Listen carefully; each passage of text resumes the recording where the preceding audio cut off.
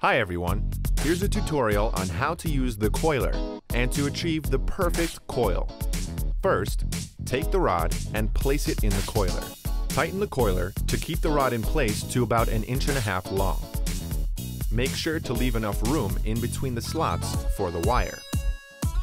Place your wire about half an inch in one of the three slots. Press the wire firmly against the rod and make sure to secure tightly. Now you can begin wrapping your coil. Although it's preferred to use a plier, you can use your hands. Be sure to keep the wire taut to produce a tight coil.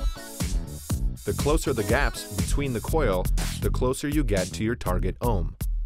The amount of wraps will also affect or change the target ohm.